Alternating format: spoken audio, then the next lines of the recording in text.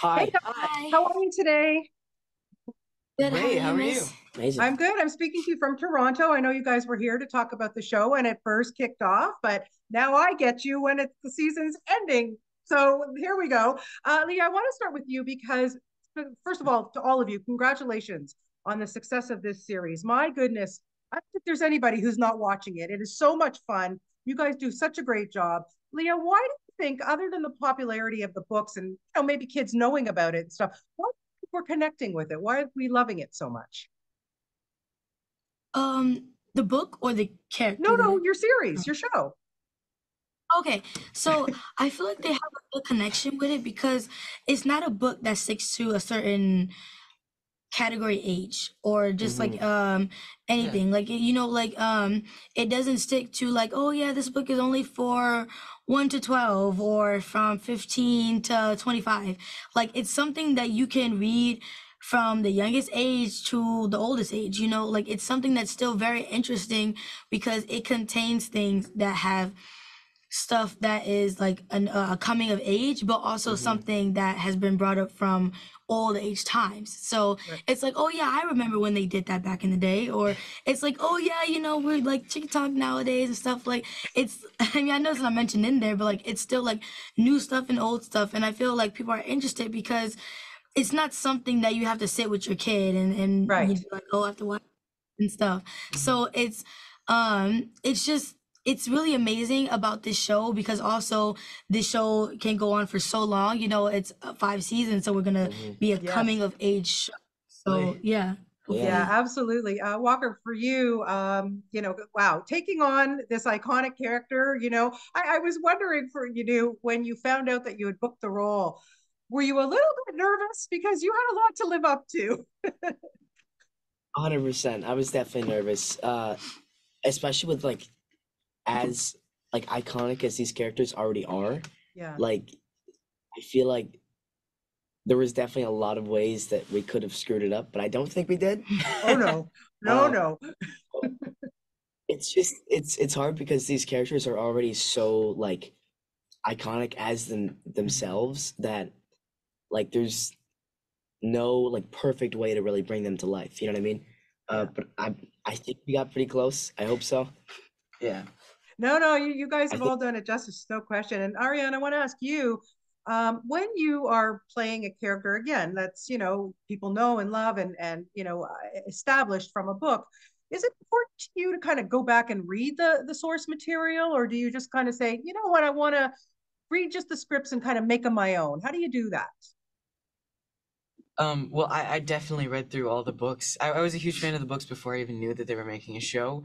But the night before uh, I went into the chemistry read, we booked a hotel that was like in Los Angeles, so we didn't have to drive.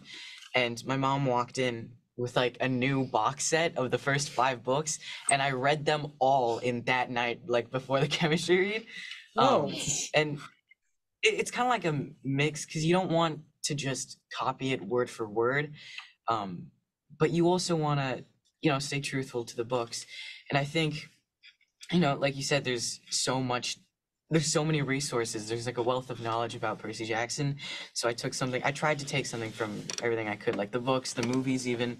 Um, brandon t. Jackson was like great as grover. And so Yeah. yeah i don't know. I, it's kind of a mix between them both. Hmm Yeah, no, that's awesome. I can't believe you read them all. The night before. You must have been pretty tired that next morning. I, I had to take a test. Like the reason we were, we booked a hotel in LA was because I was taking an exam in LA.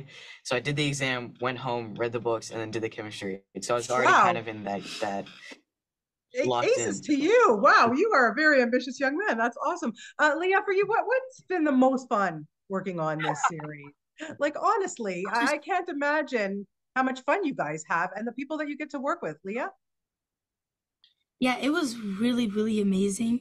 Um, I just I can't get enough of how like nice everyone is. It's just it's really amazing. Like I'm not saying you would expect them to be mean or anything. It's just like like you wouldn't expect them to just be like um this like heartfelt person, like just like so warming and things. Yeah. Yeah. Like um like I would always think that like actors on set they're just like stay in their character 24/7 like Yeah. Like I cuz I never really like I never really like saw behind the scenes beforehand, so I just thought that like you know they're doing the part, then they say cut, they're just sitting there, just doing like this and stuff. But actually, like like you're having fun while even like filming the things. Like sometimes like they've even had it in like some of the um some of the like scenes and stuff. yeah. Like even like we'll be laughing at each other and it wasn't supposed to be laughing and yeah. stuff. So yeah, like it's just fun how everyone can have fun on set, especially when teenagers working with other teenagers and teenagers are working with other actors that we are big fans of. So it's really really cool. Absolutely. And yeah, and Walker, I want to ask you about that because there are some pretty legendary people playing, uh, you know, in this series. You know, what, what- listen, you, you guys have all had opportunities to work with some great people already in your careers, my goodness. But when you have somebody like Lin Manuel Miranda, I mean, the talent he has is endless. What's it like? Like, what do you guys learn, Walker? What do you learn from working with these legends? Um, I mean, Lin is amazing. He's exactly how you like think he would be in the best way possible. Uh, he can like make like songs up on the fly. Like you can give him like a like a topic of conversation, and he'll just Yeah. like make like a rap out of it or something. It's crazy. But I have to say, like the the scene I don't think I've talked about enough, or like the people, Mhm. were uh, was that scene? Is a scene between uh, Zeus and Poseidon Yeah. in the new episode coming out. Okay. Lance Reddick and Toby. Steele. Their scene, I, I don't want to give anything away, but it was, it's just, it's, it's very subtle, but it's like amazing. That's, I think that's like They feel like gods. exactly. I want like that's what I kind of want to live up to acting wise. You know, Yeah. they're very great actors. Amazing. Oh man, you just gave me goosebumps. I can't wait. Okay, so Aryan, just to wrap it up, what can without giving too much more away, because that that sounds amazing. What can fans expect from this final episode? What what are you excited about for us to see? Um, well, definitely that's that's a big one. Their kind of conclusion. Um, I'm definitely excited for non-book readers to see like if they're right, because I always see like um like theories about who stole the lightning bolt and like who's gonna betray Percy and what the final line of the prophecy means. So I'm excited for all of that to finally uh, come to a close, but also leave a few things open for hopefully more seasons. hmm Yeah, well, hopefully, I, I'm pretty pretty confident that you guys are going to see more. And just really quickly, Walker, just to say, you know, if if we could get Ryan Reynolds in there, what do you think for an upcoming season? What do you think? I think that would be amazing. Uh, I keep thinking about like roles like that he could do. Uh, I saw him as Blackjack. That would be pretty funny. yeah. But uh, I don't know. Tyson. Listen, you got a connection with the guy. Give him a call. I'm sure he will come and, and work with you again. I, I can't I can't see that he wouldn't do it. He's a great Canadian. So what else can I say, right? Yeah, he is a great Canadian. Yeah, absolutely. Guys, thank you so much for your time. Uh, congratulations again on the success of this wonderful series and best of luck. Uh, I hope we'll be talking to you again for the next season. Fingers crossed. Thanks so much. Thank you so Thank much. you. Thank you Okay, so guys. much. Take care. Bye bye.